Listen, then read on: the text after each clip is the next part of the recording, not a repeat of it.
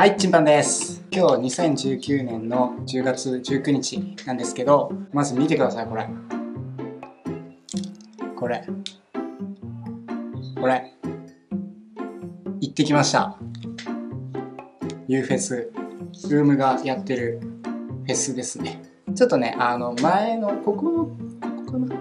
この動画を見ていただくと背景がわかるんですけど、いやーね、あのね、マジで楽しかった。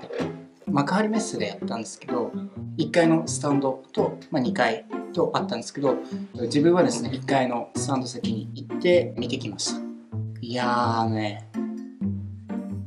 めっちゃ楽しかった。本当にいつも見てる YouTuber さん方が、本当に目の前にいて、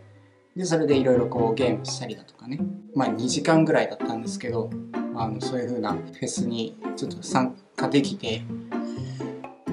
本当に楽しかったですね。えっ、ー、と1部と2部とあってあったんですけどあの自分は1部の方に参加しまして1部が終わった後会場出た時にこれですね荒野行動のゲームとあとはじめ社長さんがあの多分コラボされたものだと思うんですけどこういった飲み物を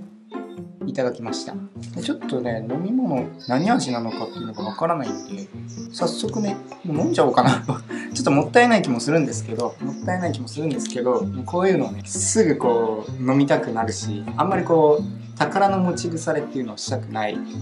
人なので僕は。こういうのねもう飲んじゃうんです。ちょっといただきます。なんだろう。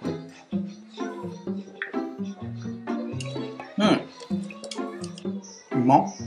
なんだろうな味はグレープフルーツ味のスポーツドリンクって感じ。美味しい。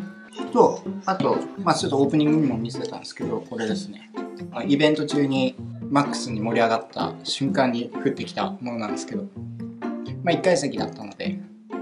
いくつかいただいてきました。今回のフェスは本当に行ってよかったと思ってます。本当に行ってよかった、まあ、実際に生でいろんなップ YouTuber さんを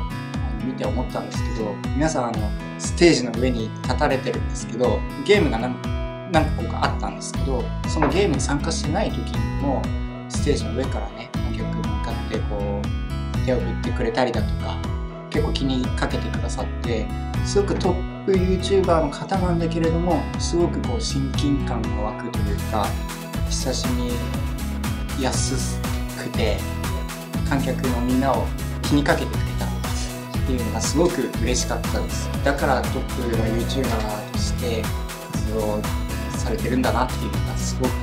感じたフェスでもありましたね、まあ、これからも、まあ、YouTube 見る側にもなるし配信していく側にもなりたいなと思ってます。是非あのこの動画がいいと思ったらグッドボタンまたチャンネル登録していただけると嬉しいです。はい。ということで